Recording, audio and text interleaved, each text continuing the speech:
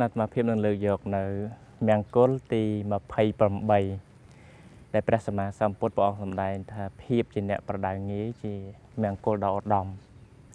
តាំងកពិតពាក្យនេះគឺថាជាពាក្យដែលមានប្រយោជន៍សម្រាប់បងប្អូនសម្រាប់កូនកូនទាំងអស់ហើយក៏សម្រាប់ញាតិញោមពុទ្ធបរិស័ទសម្រាប់សាមណៈជាអ្នកបួសផងដែរពាក្យថាបដៅងាយនេះគឺថាជាពាក្យមួយដែល សម្រាប់ឲ្យយើងនឹងដាក់នៅមានអ្នក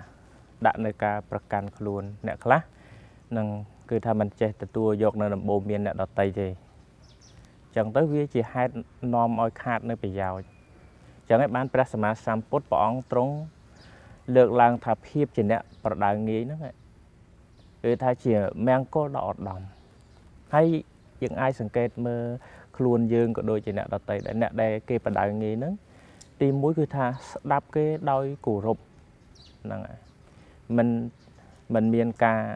អឺมันគោរពទៅដូចថាម្ដាយឪពុកឬក៏គ្រូបង្រៀនគាត់តែងតែដឹកនាំទូមានព្រៀនបដៅហ្នឹងគឺថាស្ដាប់ដោយគោរពនឹងទី2គឺថាស្ដាប់ហ្នឹងមិនមើងងាយអ្នកដែលគេបដៅទូមានទេនឹងគឺថាគាត់តម្កល់ចិត្តស្មើហើយបើបានគេទូមានក៏ សបាយចិត្តមិនបានទៅមាក់ងាយថាអញ្ចេះមួយចុះមួយថាអ្នកនេះនឹងមិនស្មើអញអីអត់ទេអញ្ចឹងឪពុកម្ដាយទូមានឬគ្រូបង្រៀនទូមានហ្នឹងគឺស្ដាប់ដោយការគោរពយកចិត្តទុកដាក់ហ្នឹងហើយហើយមិនមិនមិនមើងងាយគេនឹងអ្នកបដៅនោះទេ ហើយមួយទៀតគឺថាស្ដាប់ដោយនៅស្ងៀមស្ងាត់នឹងទទួលយកពាក្យនឹងល្អល្អណាហ្នឹងគឺថាជាប្រយោជន៍ នឹងដូចជាព្រះសម្មាសម្ពុទ្ធអញ្ចឹងព្រះអង្គទ្រង់ណែនាំរាហុលដែលជាកូនរបស់ព្រះអង្គយើងនិយាយឲ្យស្ដាប់ថាបត់ហ្នឹងមិនយើងងាយទៅតែជាកូនរបស់ព្រះហ្នឹងដែលព្រះអង្គបានប្រសូតមកនឹងបានរាហុលមួយហ្នឹងគឺថារាហុលនេះ បានមកបួសហ្នឹងគឺមិនប្រកាន់ខ្លួនទេតែងតែដាក់នៅខ្លួនហើយទទួលយកពាក្យទូមានព្រានបដៅពីឧបជាឃើញទេនឹងហើយដូចជាវិខោមួយនៅក្នុងពុទ្ធសាសនាដែលគាត់ ចាស់បួសចាស់ប៉ុន្តែមកបួសក្នុងសំណាក់ព្រះសារីបុត្រនៅក្នុងសំណាក់ឧបជានឹងមិនបានប្រកាន់ខ្លួនថាខ្លួនឯងនឹងវ័យចាស់អីអត់ទេគឺទទួលយកដោយដោយសេចក្តីរីករាយនៅពាក្យអវាទទូមានរបស់គ្រូចឹងទៅបានព្រះសម្មាសម្ពុទ្ធព្រះអង្គទ្រង់សួរសារីបុត្រយ៉ាងម៉េចសិស្សរបស់អ្នកស្រួលបដៅទូមានណាព្រះអង្គដឹងហើយអ្នកចង់បានប្រមាណទៀតថាអូចង់បានច្រើនជាងនឹងទៀតក៏បានដែរព្រះអង្គឲ្យតែស្រួលទូមានណាអាហ្នឹងគឺគេងាយស្រួលក្នុងការទូមានក្នុងការព្រៀនបដៅចឹង ចឹងទៅគឺថាមនុស្សដែលបដៅងាយហ្នឹងគឺល្អហ្នឹងហើយបើអ្នកដែលបដៅមិនមិនមិនបានណាណាទី1ជាចេះព្រោះតែល្ងងខ្លៅនឹងគេប្រាប់គេអីមិនចង់តាមទេល្ងងអាហ្នឹងគេថានឹងធ្វើដូចខ្លួនឯងហ្នឹងវាក្រន់បើអីចឹងហ្នឹងគេថាទៅចេះហើយមួយទៀតនឹងទៅចេះព្រោះតែ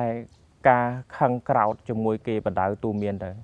កូនប្រុសស្រីខ្លះអញ្ចឹងដែរ ម៉ែឪបដៅទូមានហ្នឹងគាត់អត់ព្រមស្ដាប់ហេតុផលសោះនេះអាងអីអាងខឹង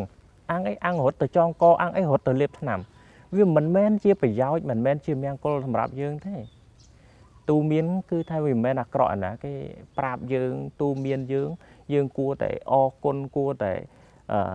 ចេះអរគុណឪពុកម្ដាយចេះអរគុណមិត្តភ័ក្តិចេះអរគុណដែលគេប្រាប់សេចក្តីល្អគេប្រាប់សេចក្តីល្អមកលើយើងយើងគិតថានេះឯងគឺវាមានតម្លៃជាងដុំពេជ្រ ដុំមាសទៅទៀតឲ្យតែគេប្រាប់ប្រយោជន៍ល្អអញ្ចឹងយើងទទួលមកគុំគិតថាខ្លួនឯងអន់អីគេគេប្រាប់គេទូមាន យើងទទួលយកដោយដោយសេចក្តីរីករាយអាហ្នឹង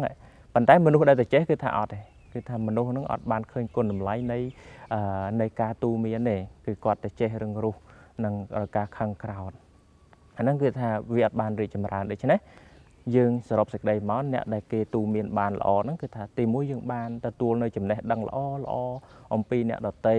ហើយមួយទៀតនោះគឺថាយើងធ្វើទៅតាមការទូមានរបស់លោកទៅនឹងបានជោគជ័យ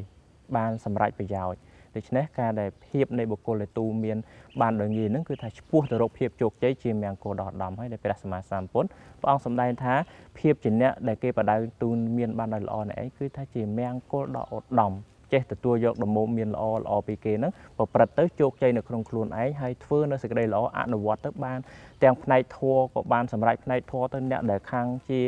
រកស៊ីអាជីវកម្មរកស៊ីខាងក្រៅអីចឹងទៅក៏មានចំណេះវិជ្ជាបានទទួលអំពីការទូមានរបស់គេទៅរកស៊ីទៅកាក់កបទៅបានជោគជ័យទៅតាមហ្នឹងអញ្ចឹងគឺថាប្រព្រឹត្តទៅជាមង្គលតែម្ដងចឹងសូមបងប្អូនក៏ដូចជាពុទ្ធបរិស័ទគិតថា